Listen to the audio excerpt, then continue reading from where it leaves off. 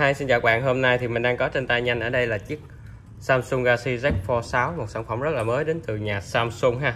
Đang được đặt hàng và chuẩn bị đổi bán trong thời gian sắp tới của hãng các bạn.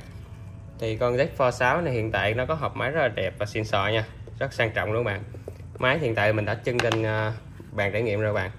Thì à, Z Fold 6 hiện tại các bạn mua thì cũng giống như các các à, các con trước đó của hãng các bạn thì nó chỉ có phụ kiện nó kèm theo là cổng cáp sạc C2C ha và cái que chọc sim thôi sách hướng dẫn. À, không có uh, gì thêm nữa các bạn.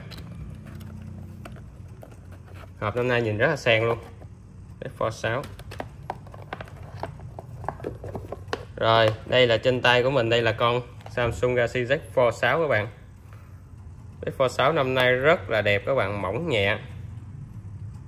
Và các bạn gấp lại thì sẽ không thấy khe hở luôn so với con Ford 5 là rất là cải tiến rất là nhiều. Và đặc biệt là mình rất thích ở cái cái thiết kế của ờ, chiếc máy các bạn. Thiết kế vuông vức các cạnh rất là đẹp. Màu sắc cũng rất là cực kỳ. Đặc biệt là năm nay con Z Fold 6 có màu hồng rất đẹp nhé các bạn nha. Nó đẹp chưa? Luôn. Thiết kế rất là nhẹ và đẹp các bạn.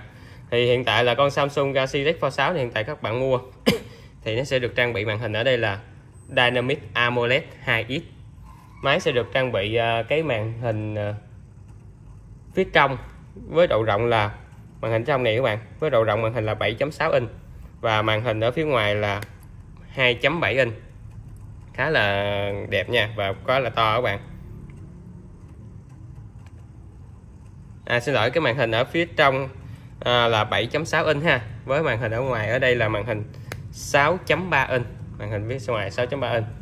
Rồi tần số quét màn hình trên con à, Z Flip 6 này là 120 Hz Máy sẽ được trang bị là kính cường lực Violab Virtus 2 à, Về camera thì con Z Flip 6 được trang bị bộ 3 camera phía sau với cam chính là 50 hai camera phụ lần lượt là 12 và 10 megapixel thiết kế cụm cam rất là đẹp nè các bạn. Rồi camera thì với à, bộ ba camera này sẽ ờ, trang bị cho các bạn những tính năng như quay phim Full HD uh, ờ, quay phim 4K và quay phim tối đa được 8K các bạn à, ngoài ra những nó ngoài ra thì nó sẽ có những tính năng như chụp uh, Super HDR chụp quang học zoom kỹ thuật số. Nó sẽ có chống rung quang học và góc siêu rộng chụp ban đêm. À, camera phía trước thì chúng ta sẽ có camera selfie. Phía trước ở trong này với độ phân giải là 4 megapixel các bạn. Nhưng mà camera năm nay các bạn nhìn sẽ khó rất là khó thấy nha. Nên là phía này. Khó thấy.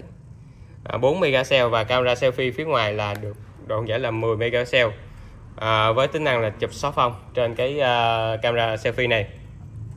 Về con chip và hệ điều hành thì con à, Z Fold 6 năm nay sẽ được trang bị con chip Qualcomm 8 Gen 3 4 Galaxy một con chip được trang bị trên S24 Ultra các bạn và sử dụng hệ điều hành Android mới nhất.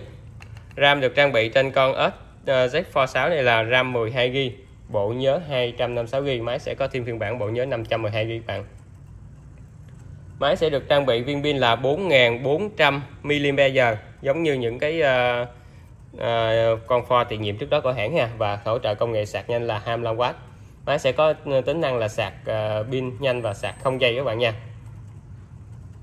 Máy sẽ được trang bị mở khóa vân tay ở cạnh bên và mở khóa bằng khuôn mặt. Chuẩn kháng nước kháng bụi AB48 kháng nước kháng bụi nhẹ thôi các bạn. Và con này thì nó sẽ được thiết kế khung bằng nhôm mặt lưng là mặt lưng kính cường lực các bạn nha. Kính cường lực. Con Z Fold 6 này hiện tại các bạn mua thì sẽ có giá là 43.990 chưa có ờ, bao gồm chương trình khuyến mãi ờ, đặt trước nha.